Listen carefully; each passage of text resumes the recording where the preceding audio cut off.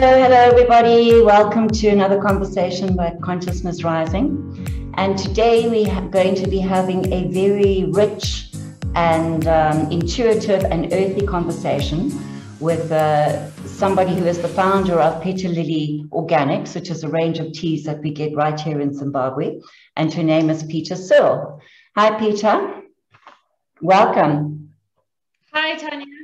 Thank you. Cheers. Thanks very much. And, Good to be uh, here. I love your show.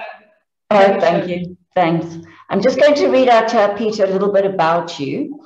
Okay, so you're the founder of Petalilli Organics, which is a herbal tea company that sells a range of herbal infusions available in all of our local supermarkets nationwide. Uh, you grow most of the herbs using organic farming practices on a farm outside of Harare. You've studied Ayurvedic medicine in Australia with David Frawley, also studied permaculture and an ancient head massage practice that I can't pronounce the name. Would you like to pronounce that name? It's called Kalari Chakusa. Kalari Chakusa. right, I'm, I'm, not even going to try that. Okay, um, so Peta, you've also done that. You've also done several plant medicine journeys, which have taken you deep into the vibration of plants. And today you're going to talk to us about uh, using plants to change our vibration and include some ancient folklore and uh, useful tips. So that's amazing. Now, let me just tell everybody that last uh, week I attended a, a, a talk at a Garden Club. And Peta was there teaching us all about the herbs, and she brought the herbs with her. And we, she gave us each, we felt them, we smelt them, we felt them um, intuitively to see what we liked and then also mixed up the, the plants together. And it was just so amazing and just so fabulous that I thought, I think everybody in the world needs to know about this. So, Peta, was this all your life? Were you interested in these things all your life? Uh, definitely my adult life, yes. Um, I spent a lot of my 20s in Australia um, and really uh, went to a lot of colleges wanting to study herbal medicine, but I never actually committed to a classroom. Mm-hmm. Um, so I always kind of got distracted by like a, I don't know, a road trip or something else. Mm-hmm. Mm-hmm. so, um, and and that's that has its pros and cons. So returning back to Zimbabwe and having some land, I spent a lot of time reading and growing the plants and just actually doing it, living it, rather. And and so it's a, a constant study. Mm-hmm. So now tell us about about the, the Petalilli teas. So they the initial vision for Petalilli was to do essential oils and to do kind of holistic beauty care. Um, and I got a still and I began investigating that and it's it was just massive financially in every way. So tea became the sort of the, the obvious first step. Um, mm-hmm. and yeah, it's just it's just grown from there. I think uh, Zimbabweans or, or the world have become a lot more open and receptive to to health products and herbal products. So it's really helped to bring Petalilli into the mainstream. Mm-hmm. So which you know it started out as a very little kind of tiny little dream, and it's just grown and grown. Okay. And particularly um, in this COVID times, I mean, yeah, it's amazing. Mm, that's right. Um, and you know what I've always found, found so fascinating, and I really loved. Uh, you know, I love watching those sort of uh, movies or, or series, sort of period, you know, like Outlander, uh, where they they use all the herbs. Because you think about it, that in ancient times we never had these kind of medicines, modern day medicines. You know, mm-hmm. Uh, so yeah, tell us a little bit about that and the history of um, of these herbs. But how I can't remember. In it's it's as old as we are. Herbal medicine and herbal lore is as old as humanity. And it's only in the last hundred years that mainstream uh, Western pharmaceutical medicine has has taken a front seat. Mm-hmm. Um, but in the Middle Ages, people grew an elder tree because they knew the, the berries, the flowers, it just grew at your cottage and you would go and harvest that. There were colds, there were flus. It was in our blood more. And it mm. does still flow in our blood. We're just um, disconnected from it. You know, mm. uh, it's a wonderful, um, there's a great book by David Hoffmann, and he, um, he, you know, all of life is about homeostasis, and our relationship with the with the planet is about this this balance, this continual ebb and flow. And herbs are like the hormones that help regulate us in contact with the planet. Mm-hmm. And I, I, just I just love that that they're really a, a gift from the earth to um, help us heal and remain connected to her. Mm. That's right. Um, because because when we are in our, our healthiest state, then what we can create is is phenomenal. Um, mm. So they they just um, I think we've called this session plant alchemy because it's it's using herbs to enhance your state of being and enhance your your wellness rather than focusing on illness. Let's let's be well. Let's be really healthy. Mm-hmm. Uh, because that's what the earth wants us to be. That's right. She yep. doesn't want us to be sick. You know, if we're sick, then we're disconnected. We, but if we're healthy, then we're gonna be vibrant with her. Mm, that's right. Um, yeah. And also, and also, I mean, it, it sort of correlates to everything that that we believe in this sort of vibrational universe because everything is a mm. vibration, isn't it? Mm. Mm. So, um, and I remember Kazadi Kalunga, he once said to me about medicines. He said that if you have got a problem with your liver and you take uh, something specifically for your liver, the frequency of that medication is a match to the frequency of the liver. Mm.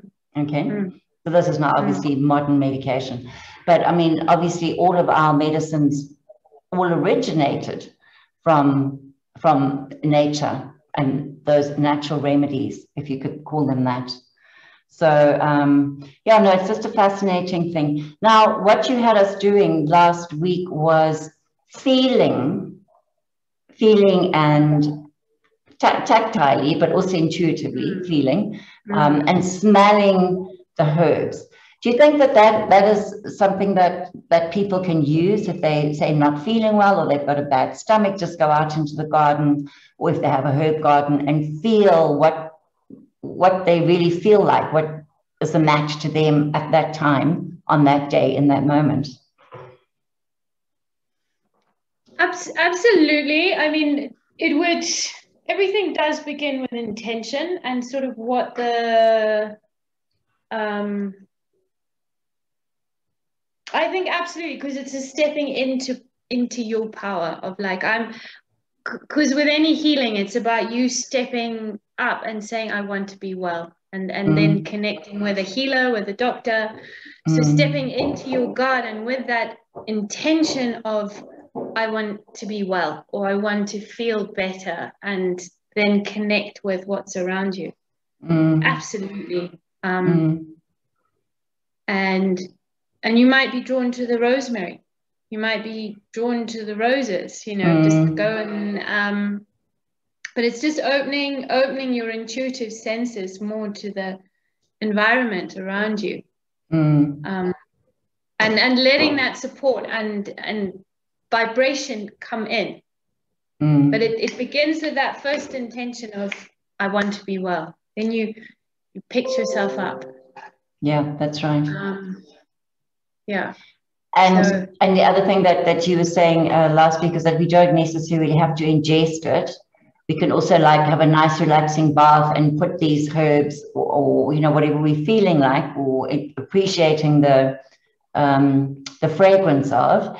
We can put those in the bath and just wallow in it and that also mm. um, is a way to mm. to induce it, so to speak. Yeah, to to commune. I mean, mm. it's all it's all communing. Um, and yeah, rosemary, roses, and yeah, with the full moon, the new moon, any kind of you know ceremony with your kids, just mm-hmm. there. But fragmented, throw some rose petals in their bath, and it'll just it'll change the whole vibe. Mm. What um, are the children? Are you saying so? If you've got like fractious yeah. kids, mm. yeah, um, yeah, even some rose petals in a in a bowl of water, or just dry them. Mm. Um, it's playing. It's playing. It's playing with plants. Um, put some water. Put some flowers in your water. Sometimes drink flower water. Mm. Right. That's a that's a good one. And I know a lot of people do do that. Um, I know, uh, well, certainly, you know, you have a jug of water and you put, you might put your lemon in, but you can also put all the other things, the mint and the rosemary and, and infuse it that way. Yeah. Yeah. Yeah. And are there any books would you think that people should just um, look up and Google? You know, because uh, as you say, in even in our gardens every day, uh, we have um, things that are available, things that we might not even know. Mm. I'd say, uh, well, for me, uh, a wonderful woman's been Margaret Roberts. She's okay. South African. She's based from in the region. She looks at some some traditional herbs, but also quite a few Western plants. Mm-hmm. She gives just such a lovely overview. It's very, mm. very readable and usable. Um, so mm. that's Margaret Roberts. Um, and there's so many. There's so many. Yeah, go with Margaret Roberts. I'd mm. say. Mm. Yeah. But in, anything that, that that you can tell us about that's that's sort of like we all know necessarily know that we might have growing as weeds or uh, like you mentioned roses most people have that rosemary we have that um, what else okay yeah dandelion. I'm going to bring it up. So, so this is the the seed head. Yeah. Normally has a, a very big yellow flower, mm-hmm. and it kind of these are the leaves. Mm-hmm. They don't. They look like dragon's teeth. That's right. Yeah. And I think you could imagine that you are. You're in, ingesting like a dragon, and they they kind of they grow like this. They look like a, sh- a fallen star on the mm. that landed on the earth and, and opened. Um, and so eating these leaves, eat the dandelion leaves every day. Mm-hmm. Put them in your salad. Don't don't dig them up. Just just cultivate them. And mm-hmm. they're, they're so good for the liver. And oh, just, really? yeah. So so helping with, with kind of particularly now anxiety, fear, you just and it's got loads of other stuff from minerals. A lot, so much. Mm-hmm. It's quite bitter. Mm. So like two two or three leaves a day. Mm-hmm. Um, just go and munch. When mm-hmm. you go, you take take your rubbish or go in the garden. Just eat a couple of dandelion leaves. Okay, that's great advice. And and now when it comes to the actual teas that you make, I mean, obviously eating it straight out of the ground, mm. has, that got a different vibration or healing properties to something that's already been processed maybe and put into teas? And this is fresh. This, I mean, I'm sure the solar energy is much more potent in a, a mm. fresh leaf. Mm-hmm. Um, the Petalilli, the teas, there's a there's a deep nourishment. You know, when you make yourself a cup of tea, and, right. and I do say that on the box, make it. It's it's your time. It's taking time to nourish you. Mm. Um, and we've got the the rose geranium or the innocence blend, which is is so much about um, self love, stepping into that vibration of love.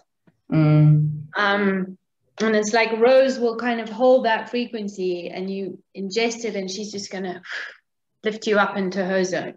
Mm. Um, you know, and chamomile just brings this this um we see it like a luminous joy. Mm-hmm. Um, so if you're feeling angry or fiery, you know, just just that's why that chamomile is so beautiful because you just it's okay. Mm. You know, will bring you into that space. Um, and so it's it's it's used drinking teas, peppermint, wonderful during the day. Uh, it's very sharp, that that minty. So for concentration, for meetings, mm-hmm. a little bit of vadavim, mm. peppermint's wonderful. Mm. Mm. It's a little um, bit like what you say, maybe it's a little bit stimulating. Yeah, mm. yeah, a lot more, more. And so, so you've got all these different energies that you and and it's going to work differently with every single person i mm-hmm. i can't drink chamomile at night it keeps me awake other people right. drink chamomile it puts them to sleep mm. um True. But that's each of our own journeys mm. um and i think that's why i like um I've enjoyed the, my own journey where I haven't learned from a classroom. That's right. It's, it's my relationship that's developed with plants. Mm. Mm. Um, and we can and we can each have that. We we all have that connection. Mm-hmm. And it's it's not really having to know the scientific. I mean, obviously with more potent potent plants, but your your mints, your rosemary, um, sage, those are just wonderful. Mm. Every day mm. little magicians that should be in your life. Mm. So e- even even cooking with them, heating them up in the food, they still yeah. they, they, they yeah. still offer up some kind of healing properties. Yeah. I mean. I just mm-hmm. see like lemongrass, cooking with lemongrass. It's just such a warm and kind of social. I mean, I think lemongrass has revolutionized Thai cooking. You know, you, when you think of Thai food, you think of that lemony mm. lime kaffir and lemongrass flavors. Mm. Um, and it's social, it's community. Right. And and lemongrass offer, offers that when you cook. It's mm. this this warmth and the flavors and and curry leaves. Cooking with mm. curry. I mean, I think curry leaves are just evidence that miracles exist because how can a leaf smell like that? It's just like, well, this is amazing. That's right. That's right. And it's I, it's kind of yeah. Life tastes good. Life can be really good, and you can you can vibe with these things, and it's. Mm. And you feel mm. happy, and then you're like, "Oh my god, I'm gonna go and do a rain ceremony now because I feel really excited." Mm. You know, and and and and so this relationship to the planet um, is a deeper connection, deeper connectivity. Mm. And also, it, it, it, brings us to that that old sort of philosophy about thinking about what you eat. You know, like it's almost like blessing the food. If you bless the mm. food, you mm. uh, it, it, benefits your body so much more. I believe that. You know, it's the thoughts, mm. the thoughts that that you put into it is what you're going to mm. get back. It's not just a case of gobbling it down yeah so to speak yeah. so, so to be mindful i mean even if you are going to say have a, a cup of of chamomile tea or rose petal tea think about it connect with it on the mental level and think oh this is what i'm going to have and this is why i'm going to have it and i'm really going to love enjoy uh, love drinking it and yeah. that will like amplify the benefits yeah. of anything yeah yeah yeah, yeah a hundred a hundredfold but it, it it it ignites the the kind of the healer within you you know as soon as you working with all that intention mm. your vibration is going to pick up because mm. you and and and then there's just so much support mm. you know and mm. making iced teas you know keep keep hibiscus mean, you can play you can put hibiscus with cinnamon cardamom mm-hmm. um, add some sugar or honey and put that in the fridge for the kids. Mm. Right. Um, That's right. In, in, instead of Mazoe orange juice. yeah. Yeah. Yeah. And then, okay, so while we're talking about the teas, let me just uh, show everybody. So um, I've had these now for a while. We've got Healing Warrior, a powerful mm. blend for coughs, colds, and flu and the ingredients are yarrow, sage, peppermint, and echinacea. How do you come up with the with the blends? Do you intuit that? Yeah. Hmm. Yeah, I sat sat with them for quite a long time. Mm. There is also, I mean, there's scientific evidence between peppermint and yarrow to eons of, of knowledge blend very well together for coughs Okay. and colds. Mm-hmm. Um, this is this is the new this is the new packaging. Mm. Okay. Right. right. Um, in the in the in the boxes, more environmentally friendly. Mm. Um, yeah. So I've kind of sat, and it just is just awesome. Mm. It's like, Mm. um, yeah. So and then I just wanted to show this is a new thing. I don't know, power salt. Right. Right. Right. Can see that. For, Mhm. for non-tea people, uh, this has got nettle, moringa, sesame, and normal salt. So use it instead of salt. You're just adding a little bit more nutrition. Does it taste? Does it taste salty? Yeah, it tastes salty, but you get just a little bit something else. It's Okay. delicious. Lovely. Oh. So on, on a sandwich with avo, um. So, so all those people who've got high blood pressure and shouldn't be having salt, I mean, that's the first thing they've got to cut off their list. Yeah. That would be perfect a for them. bit. Yeah, a little bit. They're going to but still got overstimulate. Okay. Yeah, Mm. Just Okay. a, just a little bit in it. Mm. Um, yeah. Uh, I don't know this one. This is Yeah. a really good resurrection rooibos chai. Yeah. So this is using uh, one of my favorite um, traditional plants, the resurrection bush, which grows all around Domboshava and Ngomakurira. Most Mhm. of the year, it looks it's dead, just as like this little these little black leaves growing out the rocks. And if you go now, it's all green. So in Mhm. about four hours, once the rain's fallen, it just awakens. Oh, really? So it comes Yeah. back to life. That's why it's called to resurrection. It, it looks it looks dead and it comes back to life very quickly. Mm. And Mm. I and I did hear a story of um, someone who had a sample in uh, Stellenbosch University collected, I don't know, 1890, and they were just assessing them, and he took it out and put it put a glass jar over it overnight. Mm-hmm. The next morning, that plant had green shoots. A 140 year old twig Wow. had come back to life. Mm. Wow. Um, well, you so- kind of think if, if, if, if it can if it can do that for itself, it must be extremely life giving for us. yeah.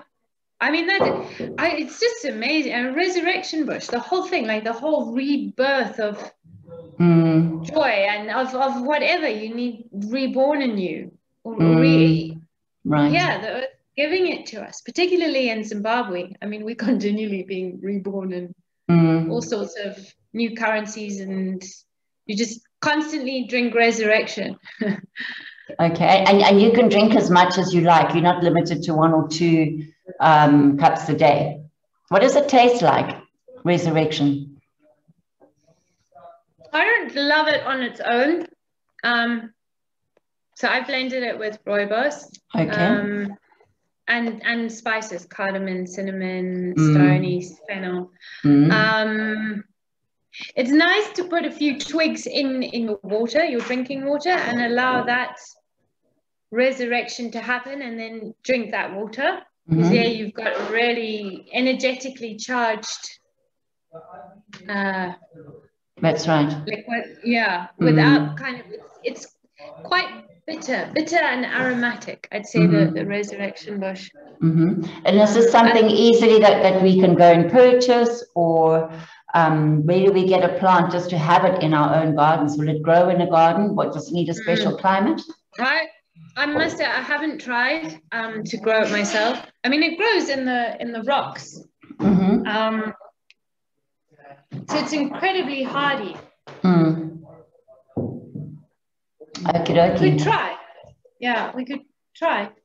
I mean, I'd be interested to hear anyone who's managing to grow it in their gardens. Mm. Um, but so you can find it, yeah, in the supermarkets, um, or go out to Domboshava, go Mm. go out to a rocky outcrop and just harvest a little bit for yourself and keep it at home. Mm. Mm. Put in your water.